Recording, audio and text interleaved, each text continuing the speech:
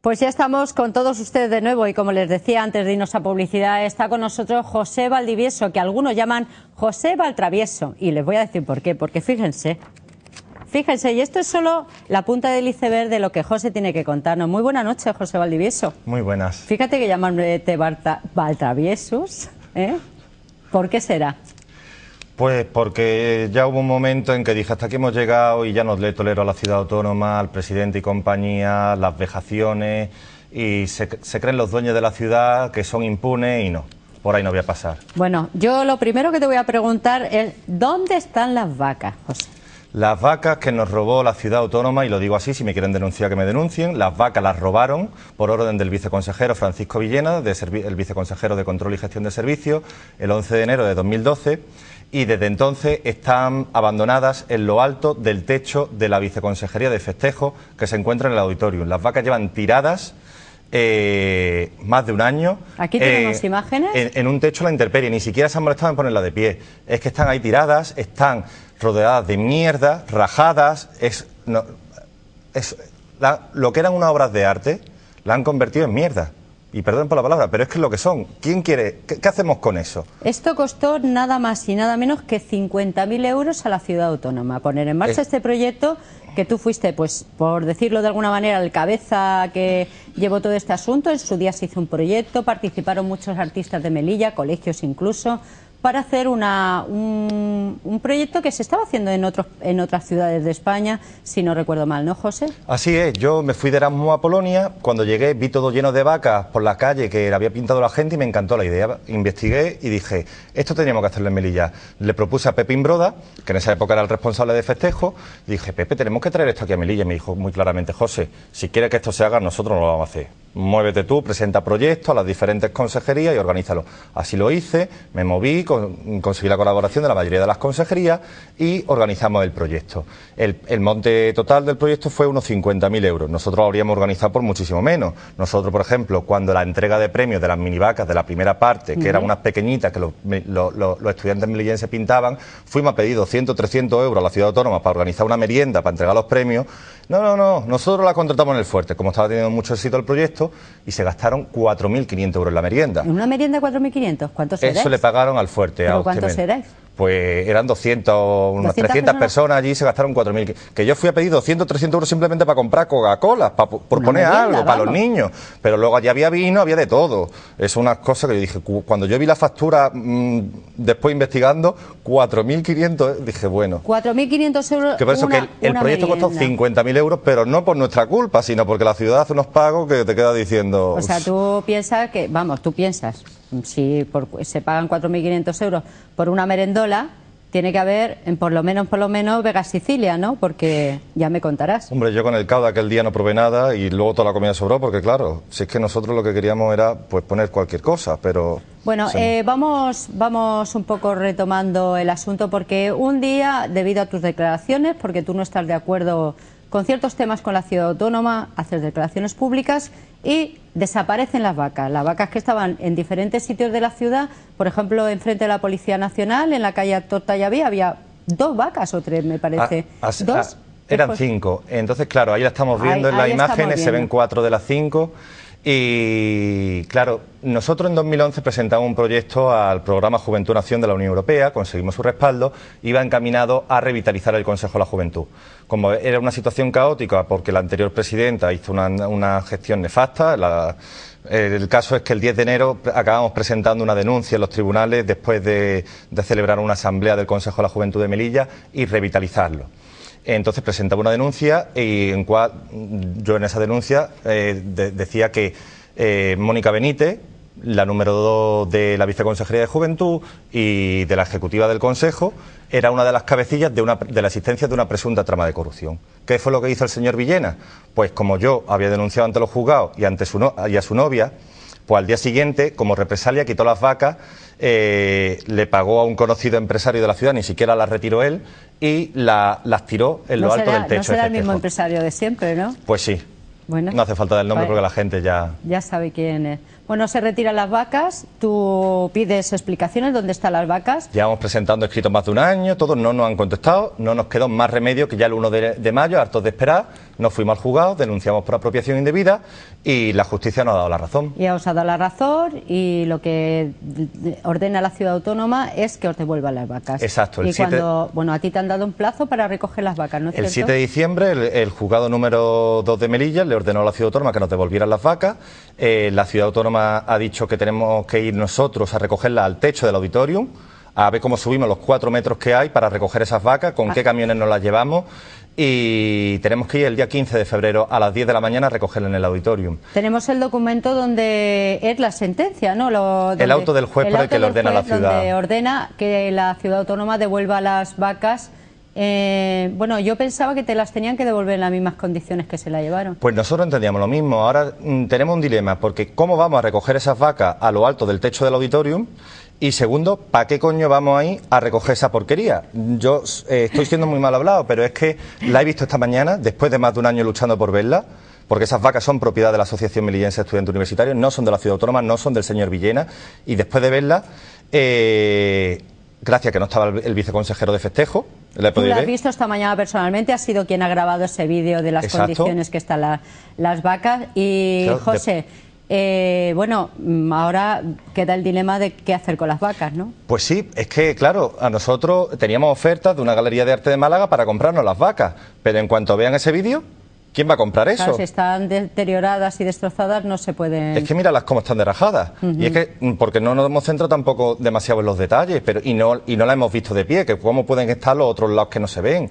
Pero es que, fíjate, se ve como los palés incrustados. Es que, oiga, ¿qué costaba que costaba mantenerla con un poquito de cuidado. Pues sí, la verdad, porque son obras de arte y... Pintadas por los melillenses. Exactamente. Es que esto ya no ha sido una represalia contra la asociación, contra mi persona. Es que esto ya ha sido qué culpa tiene la autora de esa vaca que estamos viendo, que está completamente rajada por culpa de la ciudad autónoma. La verdad que es una pena. Todo este, todo este jaleo... Eh, bueno, esta mañana has tenido problemas, problemas que vienes de poner una denuncia, ¿no? Hace escasas horas. Cuéntanos qué ha pasado. Pues mira, estaba yo en el ayuntamiento, estoy saliendo de allí y me encuentro yo venía por un extremo del pasillo y por el otro extremo venía Jesús García, el anterior viceconsejero de, Juventud, y venía acompañado del viceconsejero Villena, el que dio la orden de que se nos robaran las vacas. Entonces, claro, yo Jesús García, pues lo he saludado, él me ha saludado y a continuación yo le he quitado la cara a Villena porque con esa persona no tengo nada que hablar. Una persona que me está injuriando continuamente, considero que nos ha robado la asociación y no tengo nada ni que mirarle a la cara.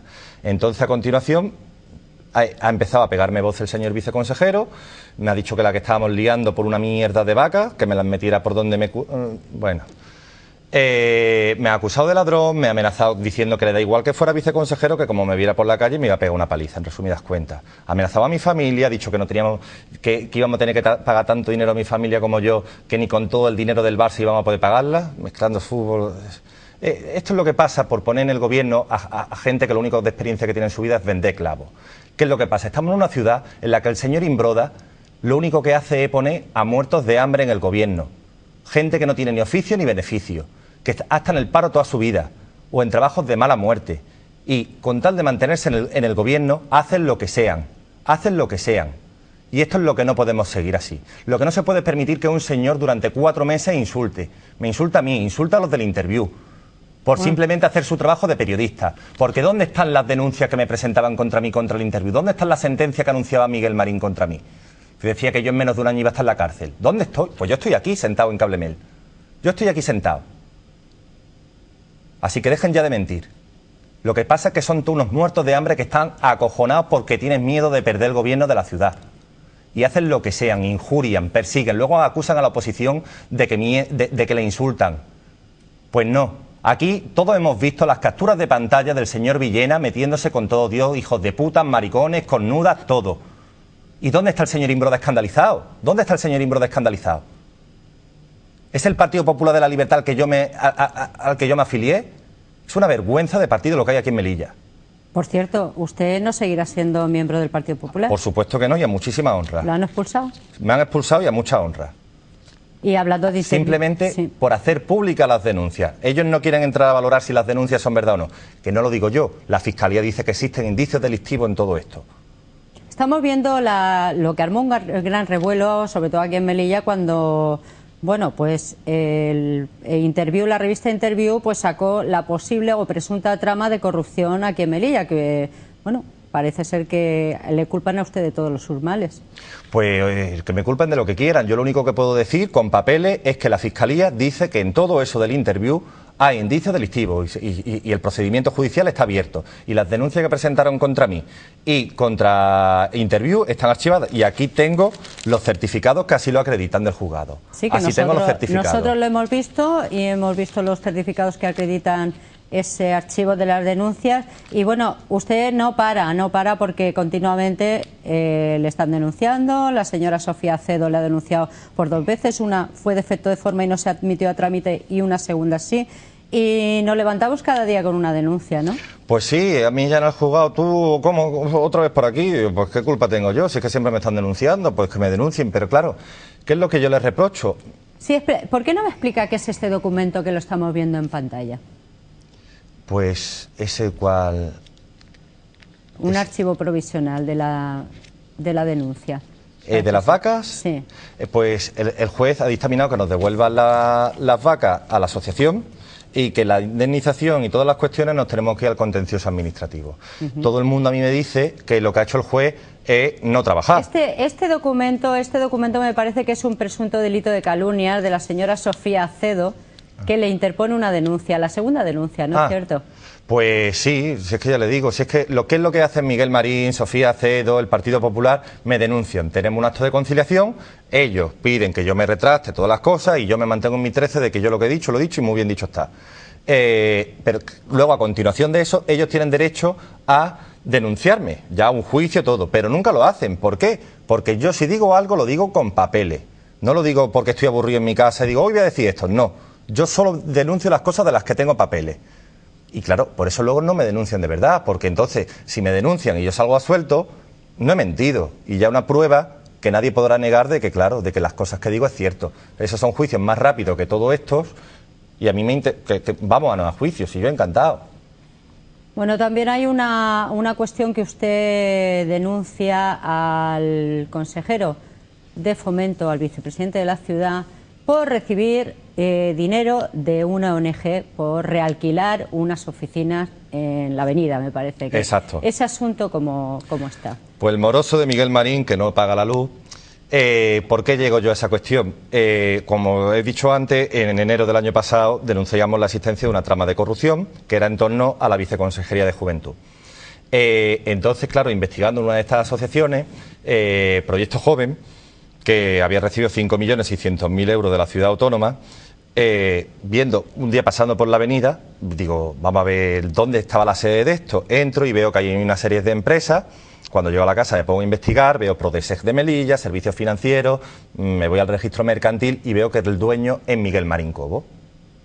Entonces, claro, me sigo investigando, sigo investigando, hasta que ya veo la primera cuestión. Primero descubro que Miguel Marín es propietario de eh, único, al 100%, de dos empresas que tiene dos fines, los seguros y la especulación inmobiliaria, según el registro mercantil, no yo. Ahí están los papeles. Entonces, claro, yo me quedo diciendo, esto justo pasó cuando tuvo que dimitir el, el delegado del gobierno en Extremadura por ser propietario de una farmacia. Entonces, claro, digo yo, vamos a ver si este hombre tiene que dimitir por eso, ya ves, por tener una farmacia que tiene que ver con ser delegado del gobierno, que el consejero de fomento de Melilla sea propietario único de dos empresas que se dedican a la especulación inmobiliaria, este hombre que está aprobando el Plan General de Ordenación Urbana, mm, ¿estamos locos o qué? Y ya no solamente eso, digo, es que con cualquier cuestión, porque todos sabemos porque la oposición siempre está sacando cada dos por tres como Miguel Marín, cada vez que Imbroda se va al Senado, está aprovechando para firmar como un loco todas las órdenes de pago de todas las consejerías que afectan. Y digo, ¿cómo puede ser esto? Entonces, claro, esa es la primera cuestión. Ya luego descubrí que tenía una tercera empresa. Aquí estamos viendo en pantalla el recibo de subarriendo a la Asociación Proyecto Joven, que por cierto, esta asociación llevó durante muchos años eh, bueno, la gestión del Centro de, Reforma de Menores, Baluarte, ¿no? Y en la cual trabajaba, por lo menos, la nuera del señor Iglesias. Era la presidenta. Era la presidenta con sueldo. Sí, sí, sí, gerente del proyecto. Tengo, tengo su contrato de trabajo. Yo, lo yo cuando denuncio algo lo digo con papeles. Entonces yo, si para denunciar eso, tengo los papeles. Entonces, claro, ya no solamente trabajaba eh, la, nuera de este viceconsejero, sino que eh, eh, el, hijo también estuvo trabajando, un sobrino del presidente Imbroda, dos sobrinos de la consejera María Antonia Garbín. El esposo de la señora Donoso. El esposo de, de la Manchega. El hermano de Conesa era el abogado, la sobrina de Conesa trabajaba ahí, la familia de todo, todo, todo, prácticamente todos los miembros del gobierno tenían familiares trabajando en esos convenios que Imbroda firmaba a dedo sin ningún tipo de concurrencia competitiva. Se le entregaron 5.600.000 euros a esa ONG. Y claro, ya viendo que todos están colocando a los familiares, pues, ¿qué diría Miguel Marín? Oye, aquí se están llevando todos tajadas menos yo, pues tú alquilame a mí el local. Entonces el señor Marín recibe dinero de una subvención del ayuntamiento. Claro, eh, ¿qué es lo que pasa? Miguel Marín no es propietario del número 23 de la avenida Juan Carlos I Rey, donde tiene la sede de su empresa. Él lo tiene alquilado. La propietaria creo que una familia que se apellida Benarroch. O sea, realquilado, como diríamos. Él lo alquila y a su vez monta ahí eh, la sede de sus empresas, de sus tres empresas, y a su vez su barrienda locales dentro de ese inmueble que es bastante grande. Entonces, un despacho se lo subarrienda a Proyecto Joven, una asociación que en todos estos años de historia solamente ha tenido desde el primer día hasta el último cinco socios, que han manejado 5.600.000 euros. Entonces, claro, eh, el dinero de bienestar social que Imbroda le entregaba directamente a esta asociación terminaba parte en la cuenta bancaria de Miguel Marín como persona física, porque el encabezamiento se ha cambiado porque no, aparece porque viene los datos personales de Miguel Marín, pero firma él como persona física, no su empresa ni nada, él como persona física. Y si se ve la otra factura que hay, que por aquí la tengo que por aquí la tengo que tener. Bueno, el caso es que recibía... Es en la otra, un poquito más abajo, figura. Eh, el 100% de esta factura ha sido abonada con el dinero de la Consejería de Bienestar Social y Sanidad de la Ciudad Autónoma de Melilla. un sello. Además, viene Es que viene. Viene aquí. En este documento, que yo le voy a pasar, viene recibo de su arriendo de la Asociación Proyecto Joven Conciptal, correspondiente al mes de octubre del 2009, la cantidad de tal. Y este documento está, ha sido subvencionado al 100% por la Consejería de Bienestar Social y Sanidad de la Ciudad Autónoma de Melilla. Ahí está con el sello. y claro, y luego, lo gracioso es que cuando todo esto lo publica Interview, la cúpula de, Melilla en anticorrupción, Miguel Marín me denuncia por injuria. Luego no, eso no va a ningún lado, etcétera. Pero ¿qué denuncia? ¿Qué, qué dice ahí? Que has cobrado te has llevado más de 18.000 euros de bienestar social. No lo digo yo, lo dice María Antonia Garbín por escrito. Bueno, y lo dice él firmando los recibos, ¿no? Hombre, claro, si es que... No, hay lugar a duda. Eh, mm, a partir de esa denuncia que usted realiza en el interview, usted también, bueno, hemos tenido, le tengo que contar que hemos tenido una conversación antes de, bueno, de esta entrevista para conocer un poco en qué términos pues se había desarrollado todo este asunto que ustedes ven en mis manos, este y alguno más, ¿no? Y me comentaba que hay una fórmula para no hablar, ¿no? Para que no se hable. ¿Y cuál es? Porque a usted le ofrecieron algo, ¿no? Hombre, cuando pasó eh, la historia de las vacas es mucho más larga, no vamos a entrar aquí. las vacas estuvieron abandonadas durante años. ¿Qué pastor las ha estado guardando, la verdad? antes de que la, de la calle Tortallaví, antes de que las, colocaran allí, sin, sin, la autorización de la asociación, estaban abandonadas en la Plaza de Toro. Entonces, claro, yo estaba muy disgustado con la ciudad autónoma, ya no solamente por eso, porque había cosas raras que no me gustaban. Entonces, claro, yo un día hablando con la mujer del presidente, yo le dije, mira, Paqui, esto antes, antes de las elecciones de, 2011, yo le dije, mm, yo es que, mira, pase lo que pase, yo lo último que hago en esta vida es votar a Juanjo Imbroda para presidente. Es que no lo me da igual ser afiliado, yo no lo voto. Eso se lo dijiste a su señora. Sí, en, las torres, en su trabajo. Y claro, eh, ¿cuál fue la sorpresa? Que dos días después me llaman para trabajar eh, los cursos de promesa, pero claro, me llama Eulen para trabajar, cuando yo nunca había aparecido por mi vida en Eulen ni le había presentado nada. Ni para trabajar a ellos. Tuyo, ni nada yo no había entregado nada en Eulen en mi vida. Y me llaman para trabajar en Eulen. ¿Qué se pensaban? ¿Que yo soy como el resto y que por un trabajo me había, eh, dejado de hacerlo? Pues no. Pues cuando estuve allí, si yo cuando veía lo que estaban enchufando gente, porque Nasera decía, porque las del decía, porque el otro decía, yo no me iba a quedar callado. Y si yo veo irregularidades, a mí no me vaya a comprar con un puesto de trabajo que yo no he pedido. A mí no me vaya a comprar. Ellos se pensaban que así me iban a callar la boca. Pues no.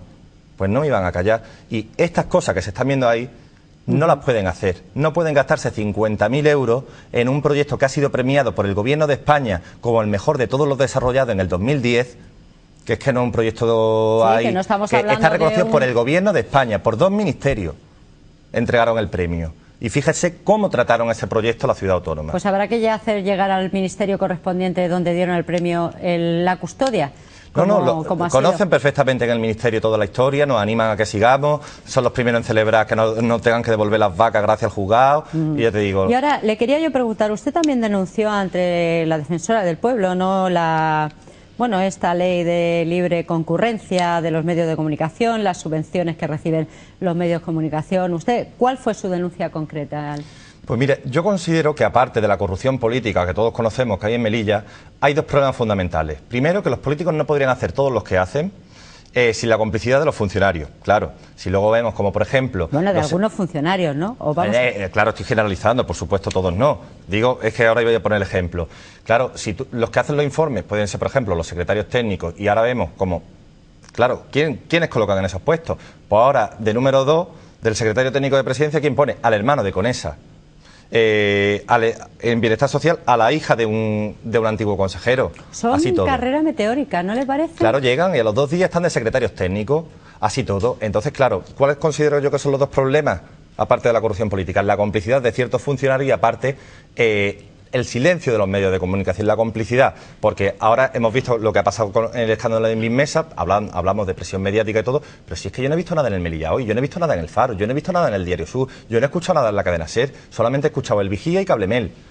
Eso es la presión mediática, dos cadenas, cuando la inmensa mayoría de los medios no hablan. Entonces, claro, yo lo que dije al defensor del pueblo, oiga, eh, considero que en Melilla existe un problema, es que se dan, se firman convenios con los medios de comunicación, pero no se hace como por ejemplo ha hecho Ceuta. Oiga, hay un millón de euros para publicidad. Sacamos un concurso público, presenten sus ofertas. No, aquí es el señor Imbroda que dice, al Telegrama le voy a dar 400.000 euros este año, al editor, a don Enrique Borges, le voy a dar 800.000 euros, al otro le voy a dar, a ti no te doy nada porque tú hablas mal de mí.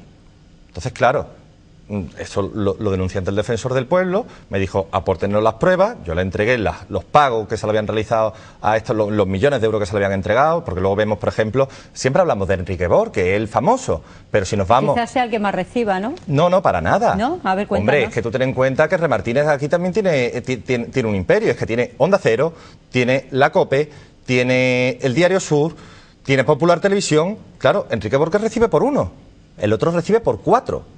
El que se está llevando la pasta aquí es el otro. El que más dinero se está llevando, pero nadie lo dice. Entonces, vamos a empezar ya a hablar las cosas claras. ¿Por qué no sacaron nada de lo de mi mesa? ¿Por qué no sacan nada de lo de Miguel Marín? ¿Por qué no sacan nada de Sofía Cedo? ¿Por qué no sacan nada de, de Villena? Porque están comprados. Los medios están comprados.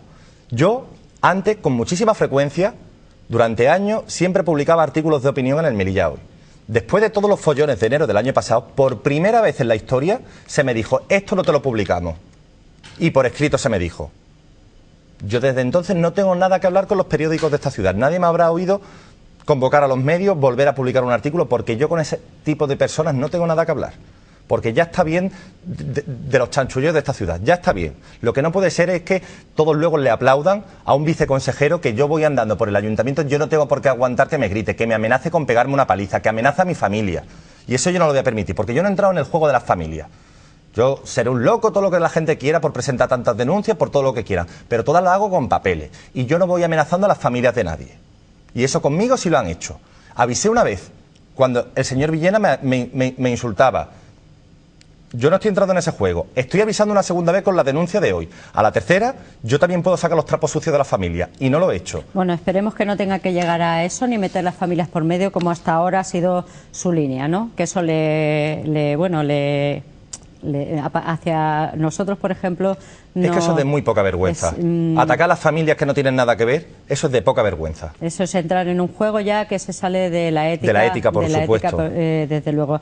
Eh, ¿Algo más que añadir, señor Val Travieso? Pues para nada. terminar con un poco de Pues mira, en un principio, pues sí, me gustaría hacer un llamamiento público, porque en, en, un principio, a menos que el juez cambie de idea, tenemos que ir como hemos comentado, el día 15 recogen las vacas a un techo que está a cuatro, más de 4 metros de altura, están tiradas, rotas, no tenemos camiones para ir a recogerlas. Entonces, me gustaría hacer un llamamiento público, si alguien en Melilla dispone de furgoneta, de un camión, de lo que sea, para ayudarnos puede ayudarle a recoger, esas vacas y a Nosotros lo, agradeceríamos, somos una entidad sin ánimo de lucro, que no, podemos afrontar los gastos que supone eso, y entonces, pues desde aquí estaríamos agradecidos a que, pues, a que nos echaran una mano. Y ya, por último, eso sí, animar a todos los melillenses. Estamos viendo, mm, han caído en menos de dos años cuatro miembros del gobierno.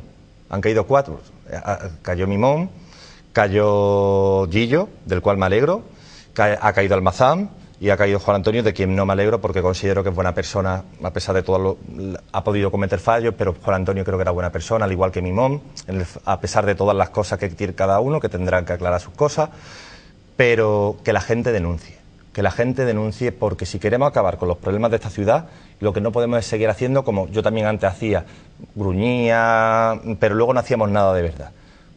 Vayan a los juzgados, no tengan miedo, consigan los papeles y vayan al juzgado, porque con pruebas no lo pueden callar. Por mucho que lo intenten, tarde o temprano la luz acaba todo tiene que salir a la luz, porque esto no se puede mantener de por vida. ¿Tú crees que hay miedo en esta ciudad? muchísimo. Miedo no, pánico.